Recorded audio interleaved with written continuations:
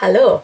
Slight change of angle because I realised that the lighting is going to be terrible either way, so I might at least have a nice background instead of my bed. So try something new today, we'll see how that goes. Right, so for the last few weeks really, I've been pondering on culture and class and all that, and I was thinking to try something new. So instead of doing my usual like middle class, very, very Western European centric clothing, like my 1840s dress, etc., I thought I'd try doing something a bit more folksy and Eastern European. So my, oh, let me reach quickly. Oh, so my grandmother actually sent me a collection of like woven tapes like this. So I thought these tapes be very nice to incorporate into an 1890s outfit. And that way I still have my historical costuming but in a more folkloric way. So the way I'll be doing this is I'll be making my usual, I'm thinking of a blouse and dress and skirt set to kind of be worn as a dress. Um, and the idea behind this is I'll make it a bit more what could have been maybe seen in the 1890s in like a more well-to-do farm environment, like not farm, countryside. So for example the skirt, while still floor length, will be a tiny bit, like a smidge shorter than usual 19th century skirts. And, and I'll be using this tape as decoration. Um, I'm thinking the usual leg of mutton sleeves, etc. But yeah, just a little twist. And hopefully that will look really cute. And well I think that will be a nice way to connect with that slightly more Slavic cottagecore if you will aesthetic. And because I'm from Poland. Um, I have we have our family comes from from villages. And, if, and I started actually collecting um, the scarves my nail got in my hair. My scarves and I've been wearing them quite often. I think it'll be a nice way to connect. So I'll be starting to do that. And it'll be nice and black cotton because I still prefer darker colours so black cotton it is. And my hair colour will fluctuate throughout this video because I got a new job and I'm actually not allowed to have brightly dyed hair anymore so the red had to go. But at the beginning I, I think there's still some clips of my red hair in so ignore that. That's what kind of happened. I had to change it okay so if you'd like to see this slightly more folkloric twist on 19th century, specifically 1890s fashion, then keep watching. I wasn't initially planning for this to be a two-part video, but as I was editing I realised that the skirt portion itself was going to be about 20 minutes long, and as such, who really needs a 40 minute video? Let's just split this in half, so welcome to part 1 I guess! The skirt pattern I decided to use is my well-loved self-drafted pattern from the Keystone Guide. I made this pattern during the first lockdown and made a really well-fitted wool skirt from it, so it was the obvious choice for this project, the moment I really decided that I would be doing the mid-1890s. The only modifications that I did was a shortening of the hem by about 5 centimeters or 2 inches for those that like inches. I do not like inches, so I will be using centimeters for the rest of this video, inches are the devil, ew, centimeters for the win. I also added a pocket that I forgot to add to my wool skirt. I know, the shame. Um, I was thinking of adding another one to my wool skirt, but that includes seam ripping and no thank you, so this is going to be my walking skirt with a pocket. The fabric that I chose was this heavy cotton fabric that I received for Christmas. Black is always good for long skirts because it doesn't really show too much dirt from walking, which, before anyone says is gross, is very practical as it's kind of impossible to not have your floor length skirt not touch the floor when you walk, sit down, etc. Even with the skirt being shorter than usual, it is inevitable, but it will sweep the floor at times nonetheless. The heaviness of the cotton will also help with maintaining the shape of the skirt and, most importantly for me, who loves the drama, will give it a very nice swoosh.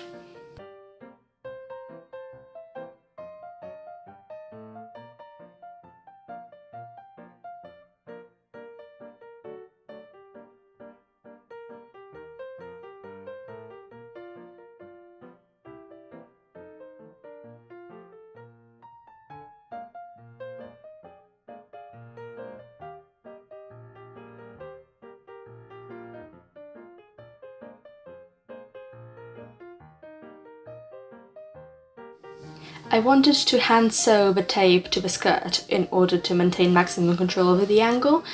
Um, I wanted to be parallel to the floor, kind of, as I was standing, just so it looked neat. Um, I put a lot of effort to make sure this happened, so the tape was placed at exactly 75 centimeters away from the waistline at all times. Had to use the tape measure. Um, on my tiny floor this was very tricky. As with the sewing machine it's possible to slip and slide around and distort that line that I had just very carefully measured out, um, I decided to just take my laptop out, put on this really confusing period film from the 70s and between concerned glances directed at my laptop every time a plot line escalated way too quickly, I managed to hand sew the tape together and it was relatively parallel, at least parallel enough for my liking. As I still had some time to spare afterwards, I got the placket done and all that really is is a tiny felt hem and that was done really quickly and in the meantime I finished the movie and oh my god 70s filmmaking, why would you do that? I think I got whiplash.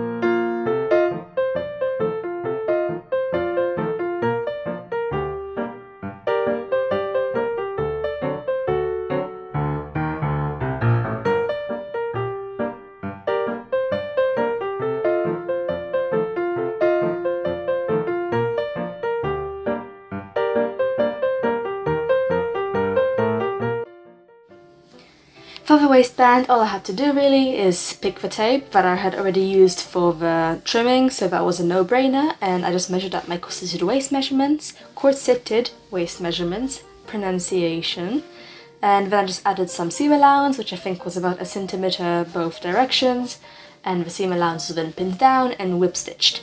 Um, I didn't really have issues with fraying because it wasn't that kind of tape. Um, all I had to do really is for it not to have too much pressure, just whip stitched it down and no issue there. The therefore finished waistband was then whip stitched to the skirt itself. I left about a 3 centimeters overhang in the back to overlap the waistband, a bit more than usual when it is worn for increased strength of waistband because I usually find that the gathers at the back are very heavy and tend to droop basically so I thought having two rows of hooks and bars with a bigger overlap than usual rather than, and rather than, than just the one row would be a bit stronger and will cause less drooping. Fun fact, um, I despise both sewing in fastenings and gathering skirts or gathering in general. It's just very messy and annoying and long.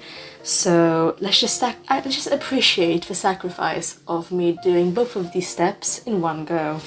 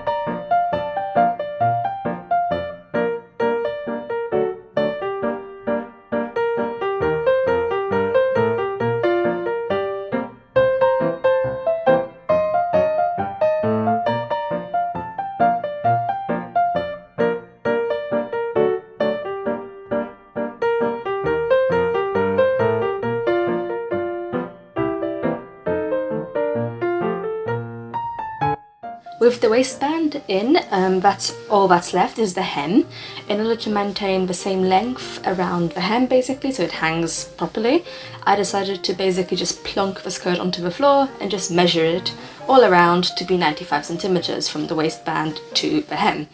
This was then pinned and stitched on the machine. I considered doing it by hand like I had done the tape, but I wanted to wear the skirt to Brighton the next day, so I thought to just speed things up and do it by machine. Also, I had run out of bad 70s Polish cinema to watch, so I didn't have anything to put on the background, so I thought just zoom on the machine and that's it. Nobody has to know, just don't tell the historical accuracy please, yada yada yada, we're good.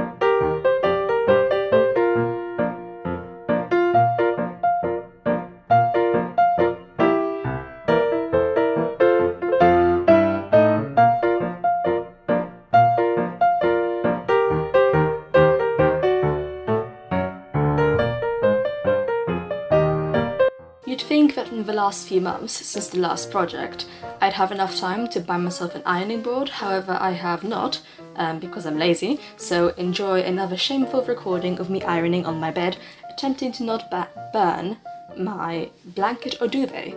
Um, thankfully no burning occurred today and my blanket uh, survives to live another day.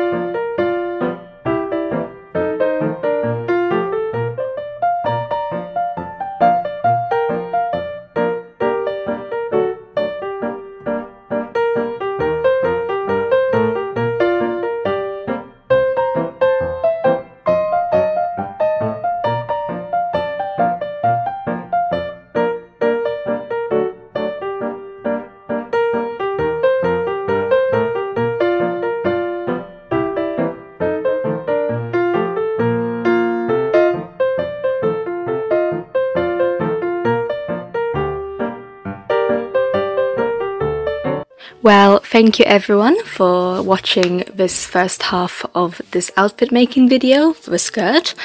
I wasn't too sure how to present the final outcome as well. It's not the full project, it's just the skirt and I didn't want to make it too fancy or anything. So I thought have an awkward little twirl at the beginning just so you could see the skirt and I thought a nice way to kind of lean in extra to the whole living on the village and cottagecore vibe, I thought I would just film myself going about in my garden, checking for slugs and um, spraying soapy water on aphids because we are currently having an aphid infestation. I think it's a London-wide thing, but I'm not quite sure. But they are very pervasive and they're on everything. So I guess here you go. Enjoy that and hopefully I'll see you in part two.